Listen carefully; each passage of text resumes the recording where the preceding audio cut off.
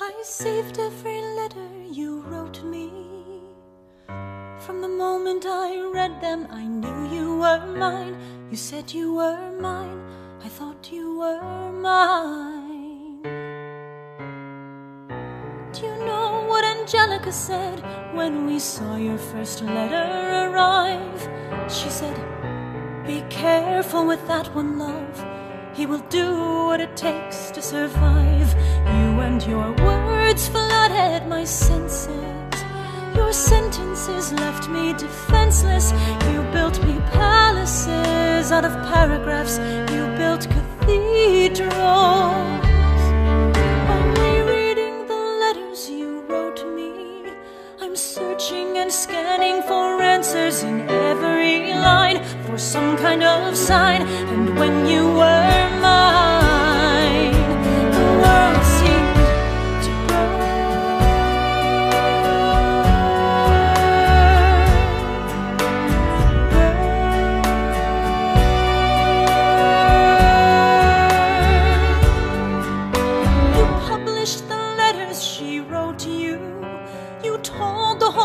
how you brought this girl into our bed. In clearing your name, you have ruined our lives. Do you know what Angelica said when she read what you'd done? She said, You've married an Icarus. He has flown too close to the sun. You and your words obsessed with your legacy. Your sentences border on senseless, and you are paranoid in every paragraph. How they deceive you, you, you, you.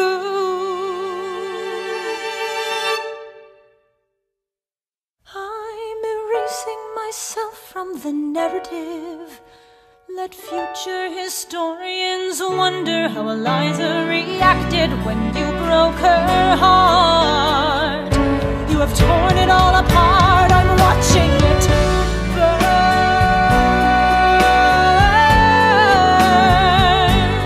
Watching it burn. The world has no right to my heart.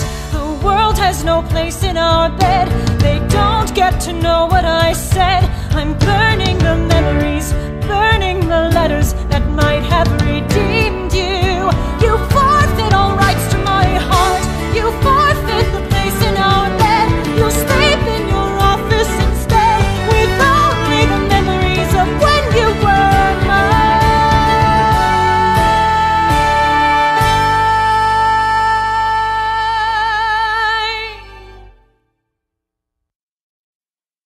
I hope that you